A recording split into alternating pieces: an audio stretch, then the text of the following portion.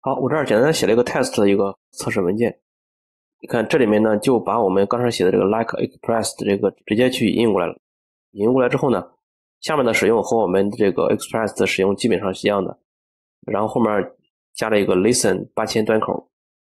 呃，我们看一下，先去 use 注册中间件，然后再去假设处理 cookie，然后再去 use 这个处理一个 API 的一个路由，然后再去 get 处理 API 的路由，然后再去模拟登录。模拟登录有一个异步，这里面我们。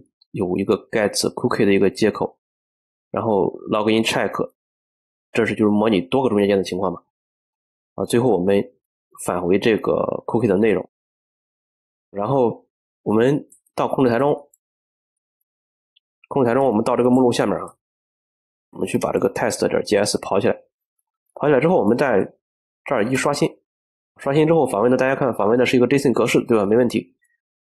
这个 a b c 一二三应该也是代码中这个处理 cookie 的时候直接写死的。这样的话，我们看看控制台，请求开始，然后处理 cookie，然后处理 API 路由，get API 路由，模拟登录成功，然后最后 get API get cookie。这个打印的内容和我们的代码中的一个中间件的流转的内容基本上是完全一样的。所以说，就是从简单的运行形式来看呢，我们这个中间件的这个逻辑基本上是已经 OK 了。其实你在学习 Express 中间件到这一步，基本上就已经可以了。如果是说遇到面试问到你这个问题，你如果是能这么答出来，那绝对是一个让面试官特别满意的一个答案，这个你放心就好了。好，到此为止呢，我们就把中间件这个原理都给你讲完了。我相信大家也应该去有一些比较详细的了解。OK，那这儿我们最后做一个简单的总结吧。这个总结就是一个 Express 整体的一个总结哈。首先第一个。使用框架开发的好处和之前不使用相比，到此为止呢，你应该是有一个很深刻的一个认识，就是框架能带给我们什么样的便利性，以及不使用框架也是多么的麻烦。但是这里我还是要强调，就是我们当时为什么要不使用框架去花那么大力气去做这件事情，就是因为为了现在的便利。你现在的便利不仅仅是因为框架做了一些好多的一些封装和一些中间件的一些逻辑，还有一个就是你在之前已经学过了一些像。我们接下来说这个路由啊、session 啊、redis 啊、日志啊，或数据库啊，还有那个什么 controller 控制器那块的一些原理，你才能感觉这么的顺畅，这么的好用。